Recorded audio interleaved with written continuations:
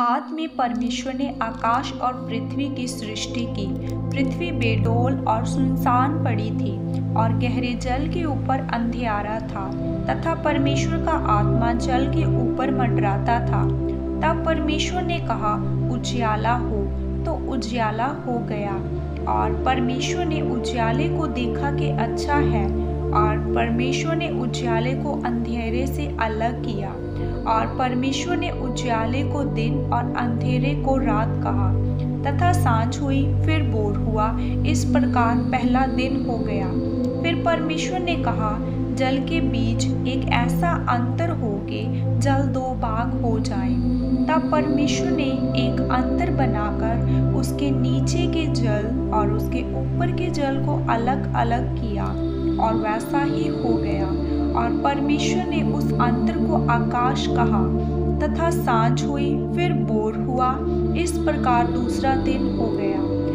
परमेश्वर ने कहा, आकाश के नीचे का जल एक स्थान में इकट्ठा हो जाए और सूखी भूमि दिखाई दे और वैसा ही हो गया। परमेश्वर ने सूखी भूमि को पृथ्वी कहा तथा जो जल इकट्ठा हुआ, उसको उसने समुद्र कहा। और परमेश्वर ने देखा कि अच्छा है। फिर परमेश्वर ने कहा पृथ्वी से हरी घास तथा बीज वाले छोटे छोटे पेड़ और फलदायी वृक्ष भी, जिनके बीज उन्हीं में एक एक की जाति के अनुसार है, पृथ्वी पर उगे और वैसा ही हो गया। इस प्रकार पृथ्वी से हरी घास और छोटे छोटे पेड़, जिनमें अपनी अपनी जाति के अनुसार बीज होते हैं और फलदायी वृक्ष, जिनके बीज एक एक की जाति के अनुसार उन्हीं में होते हैं और परमेश्वर ने देखा कि अच्छा है। तथा साँझ हुई, फिर बोर हुआ, इस प्रकार तीसरा दिन हो गया।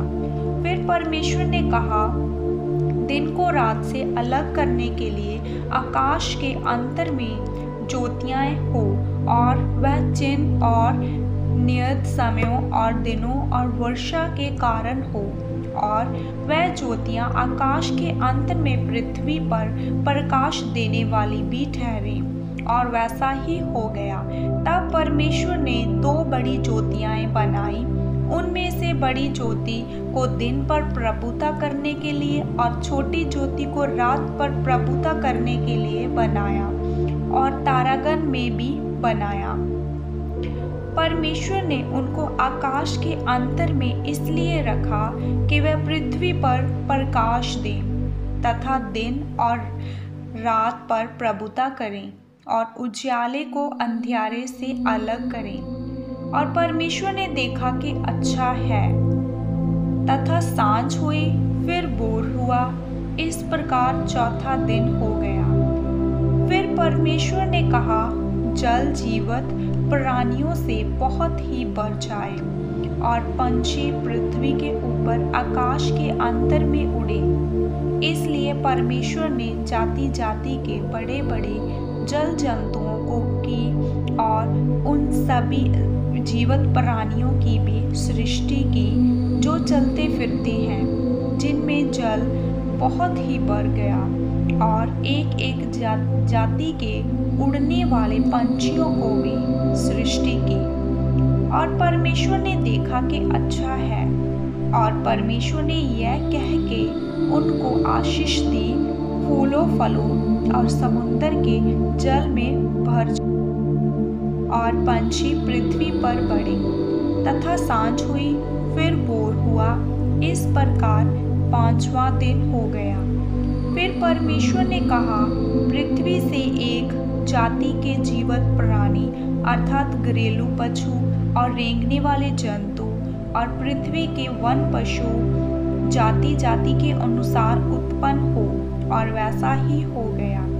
इस प्रकार परमेश्वर ने पृथ्वी के जाति जाति के वन पशुओं को और जाति जाति के घरेलू पशुओं को और जाति जाति के भूमि पर सब रेंगने वाले जंतुओं को बनाया। और परमेश्वर ने देखा कि अच्छा है। फिर परमेश्वर ने कहा, हम मनुष्य को अपने स्वरूप के अनुसार अपनी समानता में बनाएँ। और वह समुद्र की मछलियों और आकाश के पंछियों और घरेलू पशुओं और सारी पृथ्वी पर और सब रेंगने वाले जंतुओं पर जो पृथ्वी पर रेंगते हैं, अधिकार रखें। तब परमेश्वर ने मनुष्य को अपने स्वरूप के अनुसार उत्पन्न किया। अपने ही स्वरूप के अनुसार परमेश्वर ने उनको उत्पन्न किया। नर और नारी करके उनसे मनुष्य की सृष्टि की। और परमेश्वर ने उनको आशीष दी और उनसे कहा, फूलो, फलो और पृथ्वी में भर जाओ और उसको अपने वश में कर लो। और समुद्रों की मछलियों तथा आकाश के पंछियों और पृथ्वी पर रेंगने वाले सब जंतुओं पर अधिकार रखो।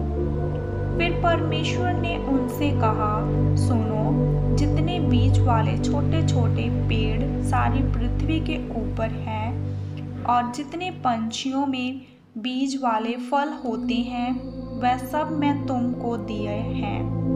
वह तुम्हारे भोजन के लिए हैं और जितने पृथ्वी के पशु और आकाश के पंछी और पृथ्वी पर रेंगने वाले जंतु हैं, जिनमें जीवन का प्राण है, उन सब के खाने के लिए मैंने सब हरे हरे छोटे पेड़ दिए हैं और वैसा ही हो गया। तब परमेश्वर ने जो कुछ बनाया था, सबको देखा। तो क्या देखा कि वह बहुत ही अच्छा है, तथा साँझ हुई, फिर बोर हुआ, इस प्रकार छठवा दिन हो गया।